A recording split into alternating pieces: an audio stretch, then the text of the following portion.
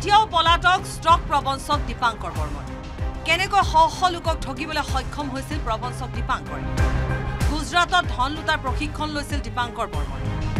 বহিৰাজ্যত প্ৰশিক্ষণ লৈ দীপাংকৰে অসমত আৰম্ভ কৰিছিল প্ৰবঞ্চনা। অভিযোগ মতে সাত হাজাৰ কোটি টকা দীপাংকৰ বৰ্মনে যি লুট কৰি পলাই গৈছে সেই দীপাংকৰ বৰ্মনে গুজৰাটৰ ক্ৰেডিট ব্লু নামৰ কোম্পানীটোৰ লগত যোগাযোগ কৰিছিল আৰু তাৰ পৰাই তেওঁ প্ৰশিক্ষণ চশিক্ষণ লৈছিলে। আমি পোৱা অভিযোগ মতে। ভয়ংকৰ। ৰাজ্যত পোহৰলৈ আহিছে এটাৰ পিছত আনটো ভুৱা অনলাইন ট্ৰেডিং কেলেংকাৰী।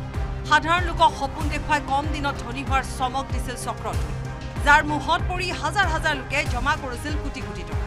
পিছে এনে লুণ্ঠনকাৰীৰ বিৰুদ্ধে সামান্যতম ক্লু নাছিল অসম আৰক্ষীৰ হাতত। যাৰ বাবে জনতাই কোটি কোটি টকা হেৰুৱাবলগীয়া হ'ল বুলি অভিযোগ বিৰোধী দলপতি দেৱব্ৰত শইকীয়া।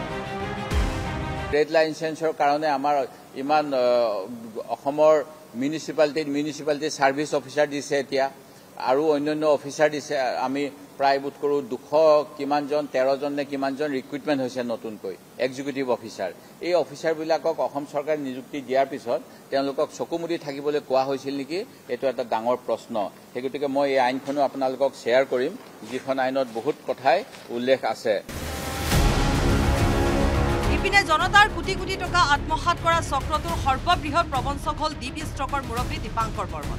দীপাংকৰে ধন লুটিবলৈ গুজৰাটত গ্ৰহণ কৰিছিল প্ৰশিক্ষণ। গুজৰাটত প্ৰশিক্ষণ লৈ অসমত আৰম্ভ কৰিছিল ভুৱা অনলাইন ট্ৰেডিং প্ৰবঞ্চনা। যি ট্ৰেডিং প্ৰশিক্ষণৰ সৈতে বিজেপিৰ ছত্ৰছায়াত থকা বুলি দাবী কংগ্ৰেছে। সেয়েহে দীপাংকৰ বৰ্মনক এতিয়া গ্ৰেপ্তাৰৰ পৰিৱৰ্তে বিজেপি চৰকাৰে আত্মগোপন কৰাৰ সুযোগ প্ৰদান কৰিছে বুলি অভিযোগ উত্থাপন কৰিছে দেৱব্ৰত শইকীয়াই। ইফালে এই সমগ্ৰ প্ৰবঞ্চনাৰ আঁৰত বিজেপিৰ হাত থকা বুলি অভিযোগ আনিলে সাংসদ ৰকিবুল হুছেইনে মই মেইন ট্ৰেডিং আমাৰ হিমন্ত বিশ্ব শৰ্মা মোৰ চকুত। মোৰ চকুত যে হিমন্ত বিশ্ব শৰ্মাতকৈ ভাল ট্ৰেডিং হিমন্ত বিশ্ব শৰ্মাৰ তকৈ ডাঙৰ আপোনাৰ এইবিলাক কি? এইবিলাক দহ টকা বিছ টকা এহেজাৰ দুহেজাৰ টকা ধৰি পেলাই হাত দাঙে। মুখ্যমন্ত্ৰী ডাঙৰীয়া যদি ইয়াৰ পৰা আঁতৰে চবৰে মিলা প্ৰীতি হ'ব কোন চৰকাৰ আহে বেলেগ কথা?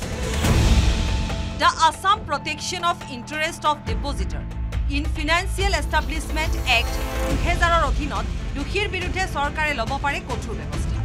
আইন অনুসৰি কোনো বিত্তীয় কাম কাজ পৰিচালনাৰ বাবে নিৰ্দিষ্ট প্ৰতিষ্ঠানটোৱে গ্ৰহণ কৰিব লাগে জিলা আয়ুক্ত কাৰ্যালয়ৰ অনুমতি। যদি অনুমতি নাথাকে তেন্তে তেনে প্ৰতিষ্ঠানৰ বিৰুদ্ধে অসম আৰক্ষীয়ে জব্দ কৰিব পাৰে কাৰ্যালয়ৰ সকলো সা সামগ্ৰী লগতে অনুমতিহীন প্ৰতিষ্ঠানৰ গৰাকীৰ বিৰুদ্ধে ল'ব পাৰে কঠোৰ ব্যৱস্থা। কিন্তু ৰহস্যজনকভাৱে ৰাজ্য চৰকাৰৰ হাতত এনে আইন থকাৰ পিছতো কোনো এগৰাকী প্ৰবঞ্চকৰ এতিয়ালৈ জব্দ কৰা নাই কোনো সা সম্পত্তি মুখ্যমন্ত্ৰী মহোদয়ে সততে বিভিন্ন আইনৰ অভাৱ নতুন আইন আনিম এইবিলাক কথা কৈ থাকে।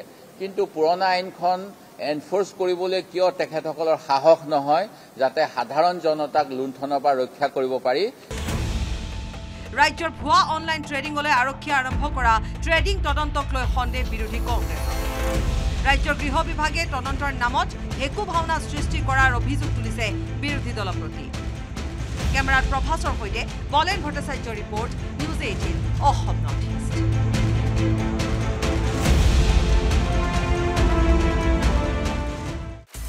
আপুনি বিচৰা বাতৰি পাব কেৱল নিউজ এইটিন এপত। নিউজ এইটিন এপ ডাউনলোড কৰিবলৈ স্কেন কৰক এই Q R code Google Play ষ্টৰতো পাব এই নিউজ এইটিন এপ